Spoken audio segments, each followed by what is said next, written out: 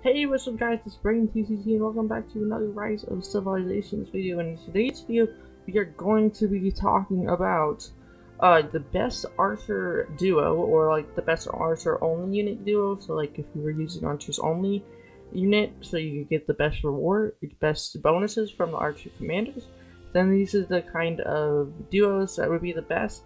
Not, this would be in my opinion, and everybody might not agree with me, but I would say that these are the best duos, so I would probably say that, um, uh, so without a doubt, I would definitely say that Yi Sun Yi is the best Archer only commander in the game because of this one skill of a, a Archer attack bonus of 100% when maxed out. Now this is way better than any of the other Archer commanders in the game. So this is without a doubt, he's gonna be in the best duo without without anybody arguing that. So the, the discussion is who is the second best. So I'm gonna be talking about who's the second best. There are a couple other archer commanders. Um, I know Kusunoki is one. Um, I I know that Markswoman is, but I already talked about how she's terrible. Um, and El Cid, I know he is, and I think there's a few others. I just can't remember right now. But the controversy could be that people would say that El Cid would be the second best, but I would probably say that he's not, just because in his skill that makes him an archer commander. It's archer defense by 20%, now that's pretty good, and archer march speed by 15%. Now you want to be using um, archers for uh, march speed bonuses because they're because cavalry is way fast isn't way faster, but they're faster than archers, so they're probably not the best to use uh, for like speed. I mean, like if you're Ark of Osiris and you're using archer only units, they can be useful, but it's not primarily something that you'd be using all the time. So, um, I wouldn't say that this the speed isn't that much, um, but um, Kusunoki has a way better skills for archers. Now, this is in my opinion. I wouldn't. I'm not. Con, I'm not saying completely because he has um, archer attack bonus by ten percent and archer defense bonus by ten percent.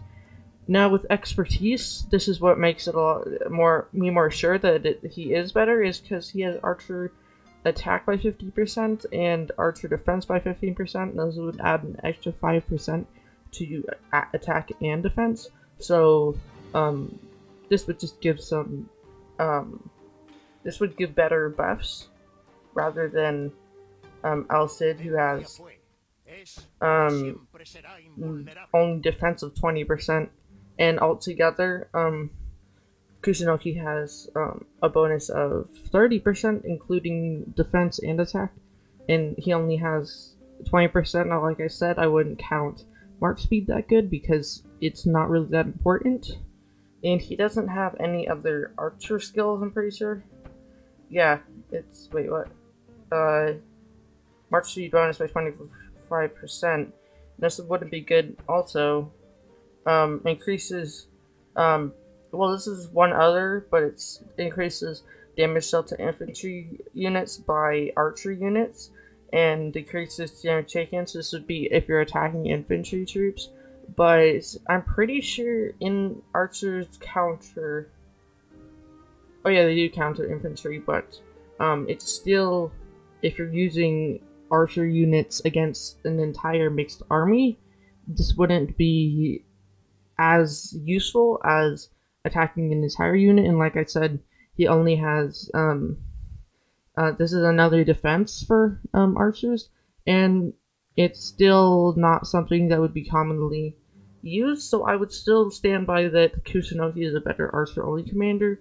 So right now, because I don't have um, Yifeng Yi to 3 stars yet, I, I usually use Kusunoki as primarily commander, and have some of his talents for um, archers and the rest for skill and then uh, Yisung Yi as my um, backup because he has 60% where I have him at right now.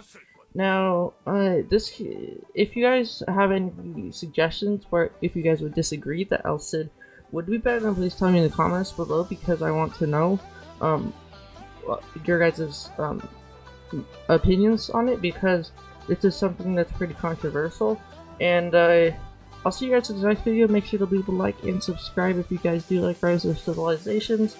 And also, um, I'll be making um, Daily Rise of Civilizations videos here, so uh, if you like um, daily tips for Civilizations, then please subscribe. And I'll see you guys in the next video. Bye, guys.